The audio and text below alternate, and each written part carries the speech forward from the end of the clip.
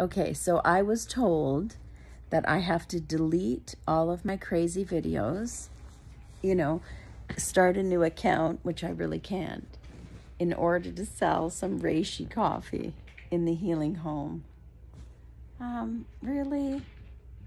Oh my God. Is that the kind of world that we live in?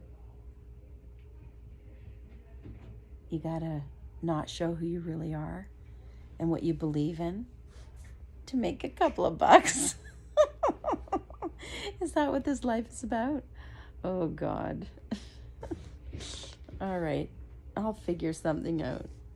Maybe I'll go drive Uber Eats or, you know, babysit. So if there's anyone that wants me to take care of their kids and teach them some real amazing things about life online, um, you know, maybe I'll bring that up in, in our in our meeting today. Good idea.